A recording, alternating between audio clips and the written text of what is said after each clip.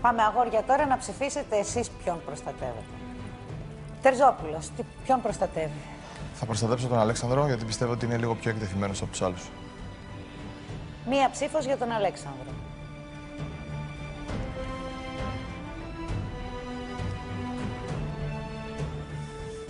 Ιωνά, Θα τη δώσω στο Φίλιππο γιατί δεν- δεν θέλω να ολοκληρωθεί αυτό που ζήτησε πριν.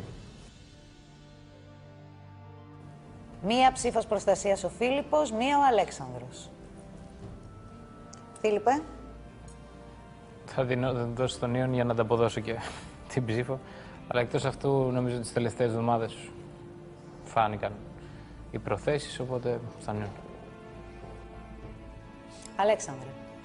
Ε, εγώ θα τη δώσω στον Παύλο, τον Τερζόπουλο. Διότι πιστεύω ότι σαν και είναι πιο καινούριος παίχτη κιόλας θα είναι πιο εκτεθειμένος. Μία ο Τερζόπουλος, μία ο Αλέξανδρος, μία ο Ιώνας, μία ο Φίλιππος. Παύλο. Στον Αλέξανδρο. Δύο ο Αλέξανδρος, μία ο Ιώνας, μία ο Τερζόπουλος, μία ο Φίλιππος.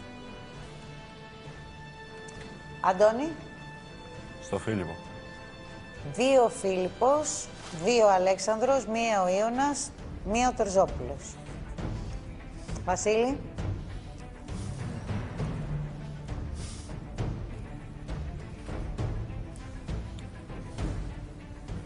Θα ψηφίσω. Θεωρώ πως ότι παρόλο αυτό που έγινε σήμερα στον καλά με τον Αλέξανδρο, πιστεύω ότι δεν είναι ευάλωτος στο να φύγει. Θα ψηφίσω τον Φίλιππο μόνο και μόνο επειδή είπε πριν ότι θέλει να φύγει και θα δώσω την ψήφο μου εκεί για να το χαλάσω τα σχέδια.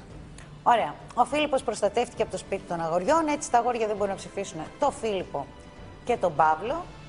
Τα κορίτσια δεν μπορούν να ψηφίσουν, όπως είπαμε, τη Ζένια και την Έρτζη.